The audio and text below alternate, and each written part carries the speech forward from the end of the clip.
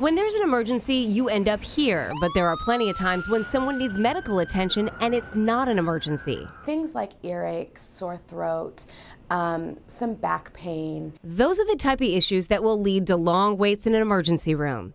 University of Maryland Medical Center saw a need and they now treat those issues somewhere other than the ER. This is a collaborative partnership between the University of Maryland Medical Center, uh, the University of Maryland School of Nursing, and the University of Maryland School of Medicine. That partnership led to the urgent care. We just came together to as um, three organizations to develop a strategy that would work for our patients, something that would provide patients um, who need timely medical care but maybe not need emergency care. It opened in October. Already they've treated more than 800 patients. The new urgent care is so close to the emergency department you can actually see it, and that proximity is turning out to be a huge benefit for patients. The same providers you see in the emergency department are the same providers you're going to see in the urgent care, so the quality isn't compromised when you come here. They say it fills such a need in the community they'll open another one. A new urgent care is scheduled to open in January at the Midtown location.